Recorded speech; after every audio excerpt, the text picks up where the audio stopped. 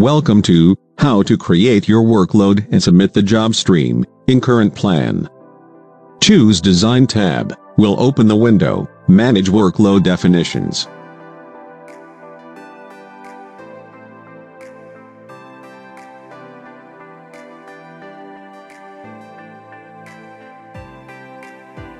Choose from list, create job stream, add the name and the workstation.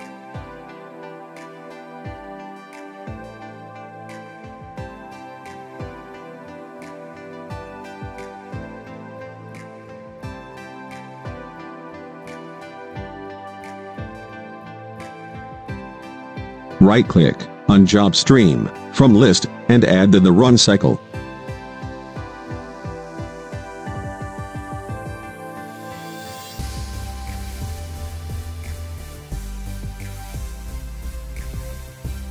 Create, for example a Unix job, add the name, the workstation, where it runs, and the login.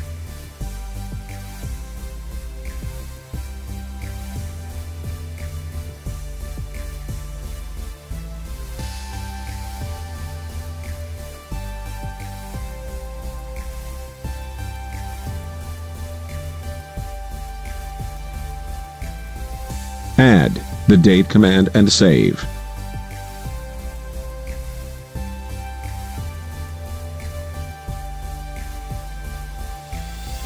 Choose the job, and add it to job stream, for example add the every option and save.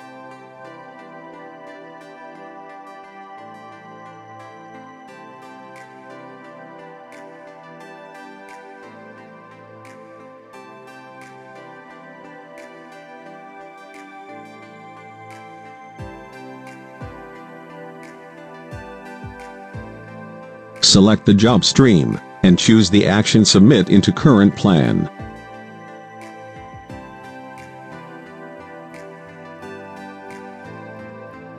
Choose Monitor Workload, run the job query, select the job, open the job log to see the result.